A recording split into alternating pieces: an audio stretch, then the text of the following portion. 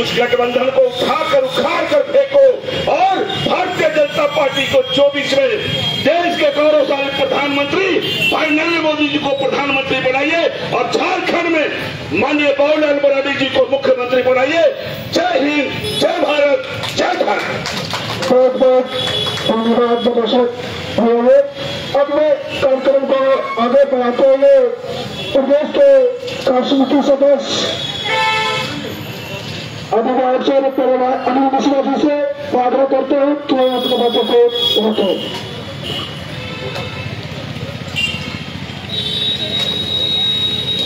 धन्यवाद आशीष जी। भारतीय जनता युवा मोर्चा के द्वारा आहूत एक दिवसीय धरना के, एक दिवसीय धरना की अध्यक्षता कर रहे हमारे छोटे भाई, जिलाध्यक्ष श्री विकास कुमार सिन्हा जी।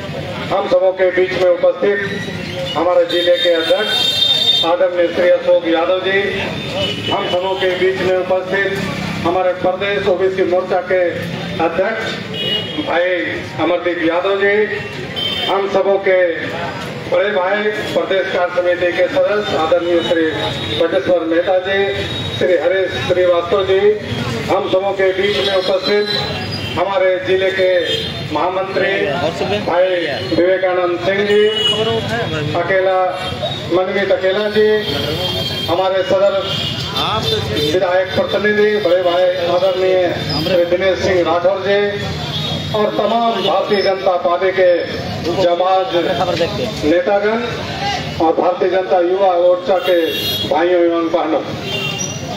मित्रों इस तीन घंटे में हम लोगों ने हेमंत सरकार के खामियों को उजागर किया है। और मैं जहाँ तक समझता हूँ कि एक एक जनता को इनकी खामियों के बारे में जानकारी है और लोगों के मन मस्तिष्क में, इस सरकार के विरुद्ध में काफ़ी आक्रोश है। यह नज़र आते दिख रहा है।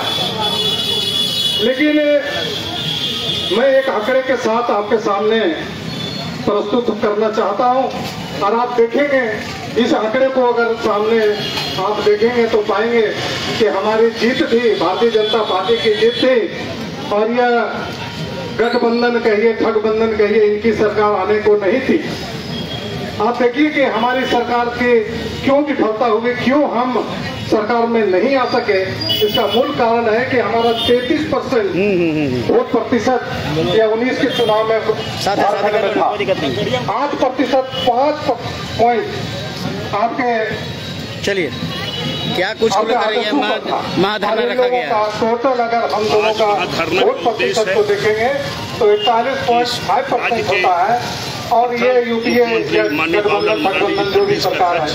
इनका ही प्रतिशत देखेंगे तो हो पैंतीस प्रतिशत इनका वोट है प्रतिशत कोई भी है आप सोच लीजिए जिला में तीन तो तीन दलों को मिला करके और मैं इस समय के माध्यम से सरकार का ध्यान आकर्षित कराना चाहता हूँ। आरजेडी का नेता है। खेतकों में आरजेडी ये जो घटना घटा हुआ दो दो लाख पार्टी को मिलाकर के लोगों का वोट प्रतिशत है। मैं कहता हूँ पच्चीस पच्चीस लाख हम लोगों का और कांग्रेस का एक ही जनता पार्टी मंत्री और राजस्व को अगर मिला दिया जाए तो हमारा वोट प्रतिशत या इकतालीस पॉइंट देना चाहता हूँ परसेंट है आप जो तो आप समझ सकते हैं बंद करें कि हम लोगों की और देश के गौरवशाली प्रधानमंत्री हम लोगों की स्थिति इसलिए बिगड़ गई सभी को आठ प्रतिशत वोट चलेंगे हम लोगों के खाते में नहीं आया जो भी हम लोग हैं मत करके हमारे चुनाव लड़े। और आज जो लूट घसोट की सरकार है उसकी देश का हम में मिलाने के लिए भारतीय जनता पार्टी। सकती है। और ये गठबंधन जो बना है अगर इस बार इस बार मैं दावे के 24 साथ में कह सकता हूँ के और प्रधानमंत्री हूँ मोदी के कह सकता हूँ कि शिकस्त देंगे, लेकिन मैं चुनौती के साथ जो चाहता हूँ। सारी के पार्टियाँ उतरने बना है और सारी पार्टियाँ कब दो हज़ार चौबीस हुई के है और जनता जान तो हम चुकी लोगों है। का कि आज़ादी के बाद ही कांग्रेस पार्टी ने शासन किया है। के कांग्रेस किस तरह गिरफ़्तार है? और यह हर जनता जानती है। के आसपास इस बार ये मैं जनता के से साथ अपील करता हूँ। हूँ पूरे मित्रों हमारी सरकार लौटने वाली है। ये वचनबद्धता को मैं बार बार यहाँ से गिनाना चाहता हूँ।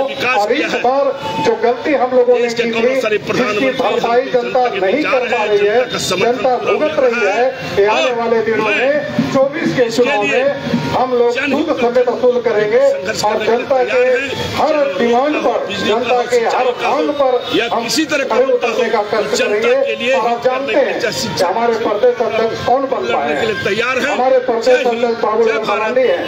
वो ज़मीन से जुड़े हुए नेता है। एक कार्यकर्ता को उन्होंने निर्देश दिया। नेता के लिए बटेसर नेता जी कह रहे थे।